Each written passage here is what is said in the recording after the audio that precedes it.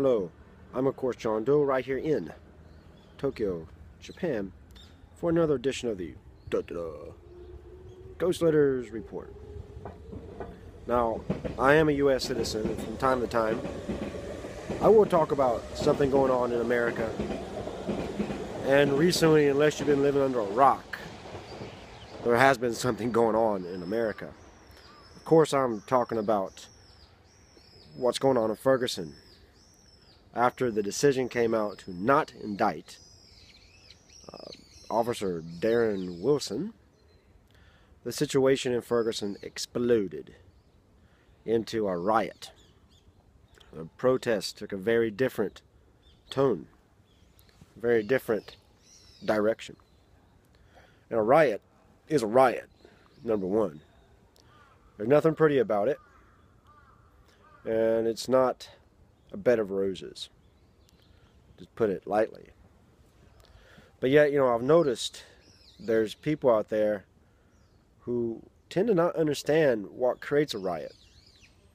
What makes people completely lose their shit and go off and say, I don't give a damn anymore. Burn it all to the fucking ground, man. Had enough. They seem to think that when you are experiencing for decades upon decades oppression, abuse, outright murder of an entire group of people that you're not supposed to get violent. Never. You're not supposed to go off and lose your shit. Ever. It's unacceptable. You're not supposed to finally say, I've had enough of all of this of everything around me, the entire system and the structure that supports it. You're supposed to continue to sit there and say, please don't kill us anymore. Please don't beat us. Please don't oppress us. Please don't treat us like we don't exist. Please don't treat us like we're dirt. We'll hold up a sign. Can you see? Please listen. That's what you're supposed to continue to do until the end of time. And somehow, some way, those who are doing those things, those people, will magically see the light of day and go, oh, well, you're right. Oh, we're going to change now. It doesn't work that way. It does not work that way.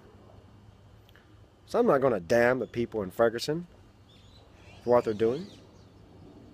Hell, I'm surprised it's taken this long. Really. And then, you know, we have these same people who are damning people in Ferguson for what's going on. Point out a few unfortunate incidences that happened in Ferguson recently and say, see, you look, see, see, see, they're but violent, evil looters. There's thugs. There's breaking stuff and hurting people just because of the excuse. I can't support that. You're shit.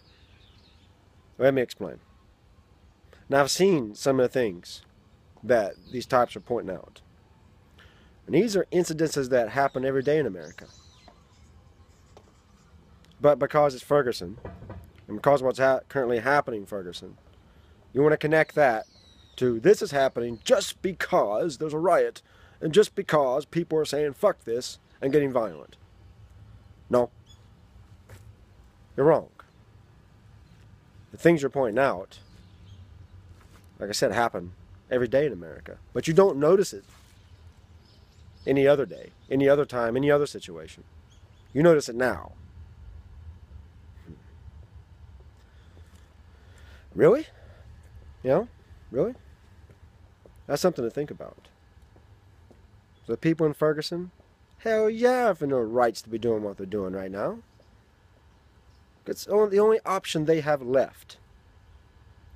They've tried everything. They've tried your way of being nice about it. While the enemy keeps treating them like shit. Keeps stomping on them. So then they realize, well, your way isn't getting anything done. Now it's time to get mean. The same way that the enemy is mean to us. So let's see what happens now. See how long it takes these rotten cops, rotten capitalist system in America to wake up. We'll see. So just something to think about. Until next time, this is me, Jon Doe, right here in Tokyo. Check it out.